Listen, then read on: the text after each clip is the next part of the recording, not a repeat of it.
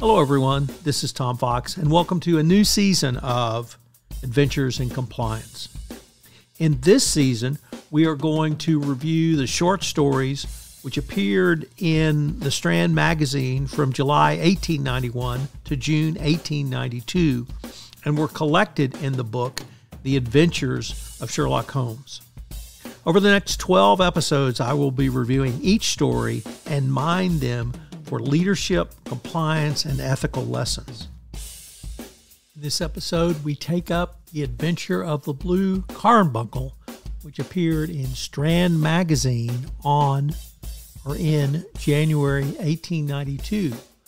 The leadership lessons from this story are particularly interesting, and I know you'll enjoy both the story, commentary, and some of the key leadership lessons.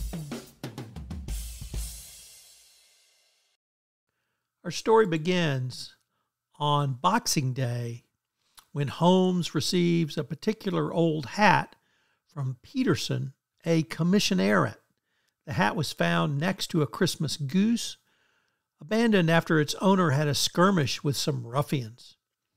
Peterson also found a blue gem in the goose's crop, which turns out to be the blue carbuncle, a precious stone which was reported missing a few days earlier. Intrigued by the series of events, Holmes and Watson embark on an investigative adventure.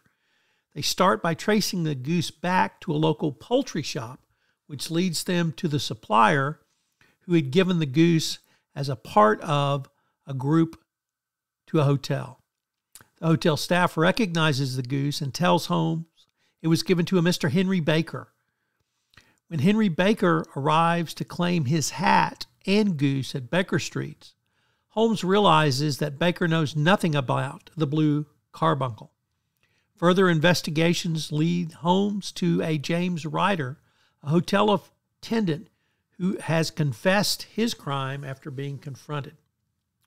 Ryder had persuaded a maid at, in the room of the Countess of Morcar's hotel room to let him steal the blue carbuncle. Fearing detection, he had hidden the gem inside a goose at his sister's poultry shop, but the bird had gotten mixed up with others, thus ending up with Henry Baker. At the end of the story, Holmes lets James Ryder go, considering him a small, terrified man who will not likely survive a prison sentence. The blue carbuncle, a jewel of great value, is recovered, but the story concludes without stating whether it was returned to its rightful owner. This story is another tale that allows you, the reader, to set forth on a voyage around the City of London from Victorian England, this time with an emphasis on the city's pubs. Many public houses appear in the adventures of Sherlock Holmes, and some will elude even the most redoubtable modern day detective.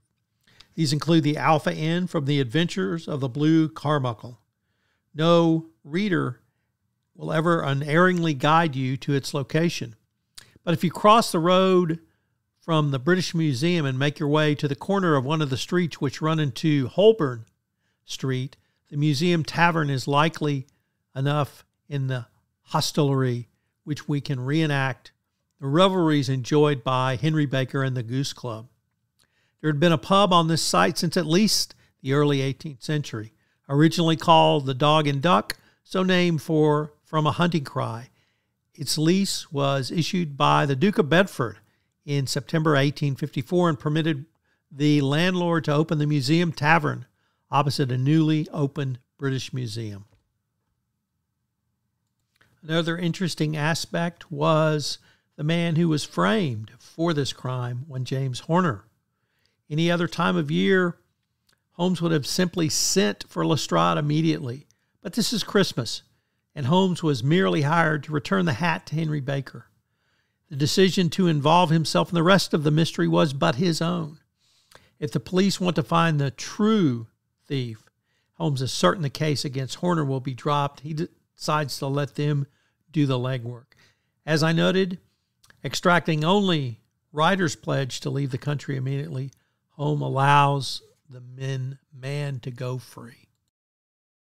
So, what are the leadership lessons from this story? Number one, attention to detail. Holmes is known for his attention to detail, and this is evident in The Adventure of the Blue Carbuncle.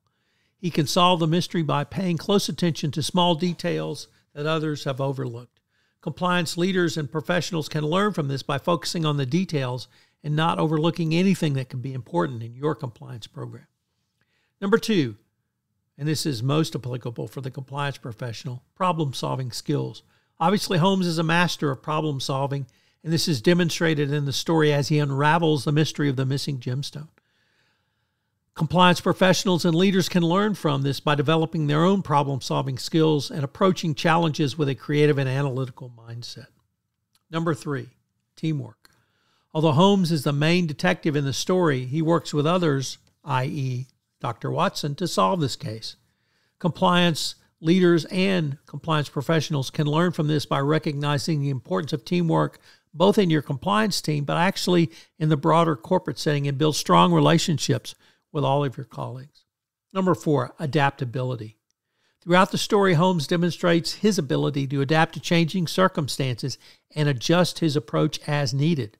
Compliance leaders and compliance professionals can learn from this by being flexible and open minded and recognizing there may be multiple solutions to a problem. And number five, honesty and integrity. Despite the temptation to keep the gemstone for himself, Holmes returns it to its rightful owner, obviously demonstrating honesty and integrity. Compliance professionals and compliance leaders obviously have to be honest and transparent, and communicating these values are going to be a critical part of any best practices compliance program, and indeed will help build an overall culture of compliance within your organization. This story, uh, having come out around Christmas time, is always a fun one to review and revisit at Christmas because it shows not only the good cheer at Christmas in Victorian England, but the Goose Club itself, Henry Baker being roughed up by some ruffians and his hat knocked out, the observation by Holmes on the misfortunes of Henry Baker, yet providing him with a goose to take home to his bride uh, really helps speak to the time of the year. And of course, the final resolution where Holmes lets the true criminal go free, and yet uh, Horner is released so that he can be with his family on Christmas. It's a fun story. It's an imaginative story. It's a story that uh, really shows how the smallest attention to detail can lead to larger truths, larger answers, and even larger questions that you may need to ask going forward. So I heartily recommend this story. I hope you will uh, read it and I hope you will enjoy it as well. This is Tom Fox again. I hope you enjoyed this episode of Adventures in Compliance. It was a ton of fun to reread and re enjoy this story, and I hope you'll take the opportunity to do so as well. I hope you'll join me again next week where we take up the episode The Adventure of the Speckled Band. If you've enjoyed this episode, I hope you'll subscribe, rate, and review this podcast wherever great podcasts are listened to. If you are a lover of Sherlock Holmes and would like to come on an upcoming podcast and talk about your favorite short story with me, I'd love to have you. As you could probably tell, I'm a huge Sherlock Holmes fan, and I find a lot of compliance lessons learned in the Sherlock Holmes oeuvre. Adventures in Compliance is a production of the Compliance Podcast Network.